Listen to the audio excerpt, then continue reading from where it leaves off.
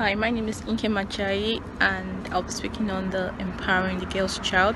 Uh, for me, I feel it's very important to empower the girl's child, for they are the future of tomorrow, and also they are the ones that bring forth the generations, the new generations. So, empowering a girl is very, very important. And ways we can empower them, we can empower them by education. Education is a very strong tool, and it cuts across different sectors. Educating a child especially a girl child, improves our opportunities in the future, makes her to have a voice in the world, and also enables the girl to see her importance and her purpose in this world.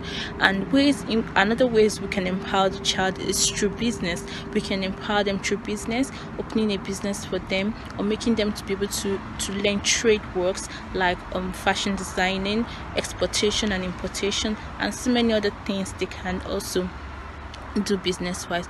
And can also empower them monetarily in peradventure if they want to embark on a project by themselves or they have they have a talent maybe a music talent or any other talent we can also empower them through money.